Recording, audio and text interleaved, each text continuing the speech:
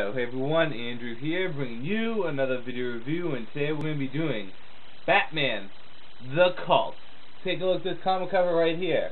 Now, Batman, The Cult is a story that I wasn't really necessarily too eager to get. It wasn't high on my list of trades to pick up. Actually, for a while, I wasn't going to buy the trade. Um, and the reason being, in spoiler alert, I know you guys hate it when I don't tell you spoilers are going to come up. But spoiler, one of the reasons is because Batman, kind of, in a way, kills someone in this. But I'll talk about that later. So, anyways, I kind of need to get the cult because I'm only maybe one or two trades away from having every single Batman trade in the modern continuity. So I need to add it to my collection because you guys know me, I'm a Batman fanatic. I need to have everything. So the cult needs to be picked up.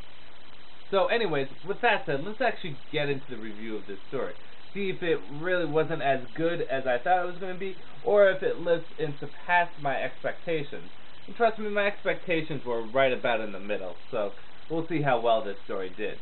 Batman the Cult is a four-story miniseries, a four-issue miniseries, and it deals with Batman being captured by a charismatic individual named Deacon Blackfire. Now, see, at the start of this book, Batman has already been captured, and he's been starved, tortured, and fed drugs from Deacon Blackfire for about a week. And he's been broken down in so many different ways, because you gotta understand, he hasn't eaten really for a week, the bare minimum to keep someone alive. He has been tortured in some most heinous ways, brainwashed, and given drugs. So Batman has kind of just broken down. Um, it's gotten so bad to the point that he has become brainwashed in the puppet of Deacon Blackfire. Now let's talk a little bit about Deacon Blackfire. Deacon Blackfire is an individual that is shrouded in mystery because you never actually know what the deal is with Deacon Blackfire.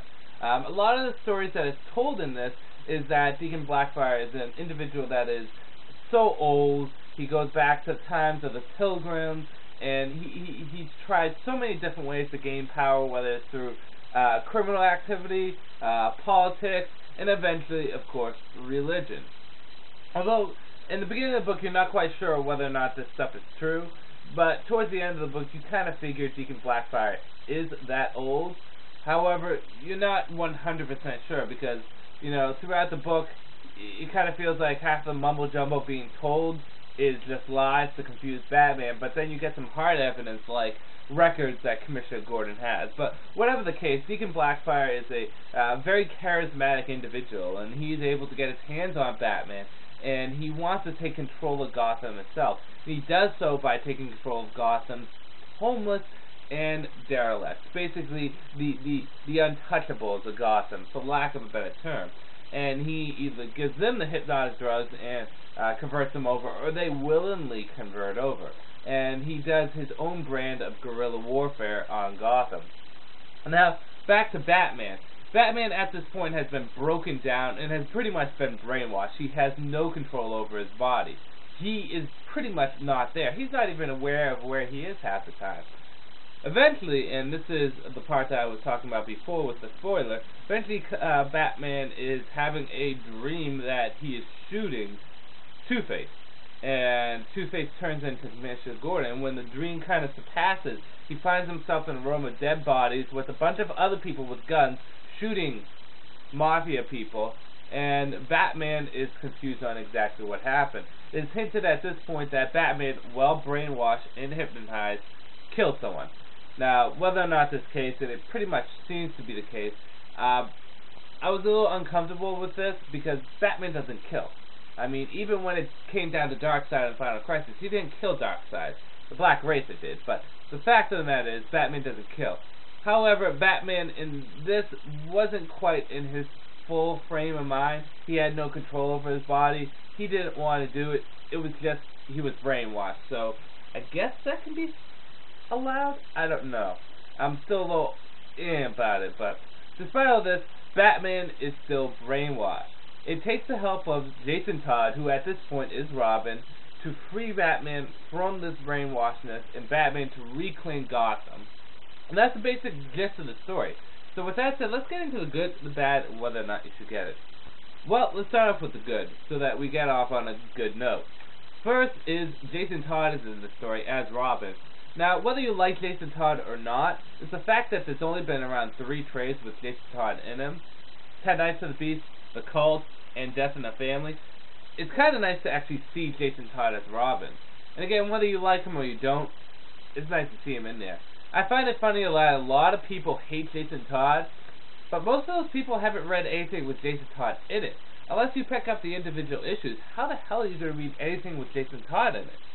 But, whatever, that's besides the point.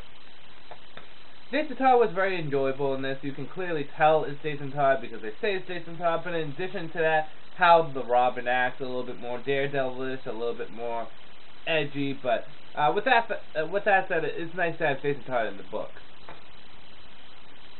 I like the art a lot. The art was, although it wasn't great art, it really set the tone for the book. The darkness, the grittiness, the absolute hopelessness that comes with this book. So the art was actually very enjoyable.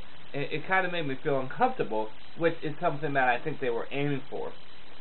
Another thing is that I like how Batman was broken down, and it really is not so much of a story about Batman breaking down and breaking down the Batman, but rather a story about Batman coming back from such of a thing to really man up and realize that he's been broken down. You know, Batman's a very proud person, but he's not a very illogical person.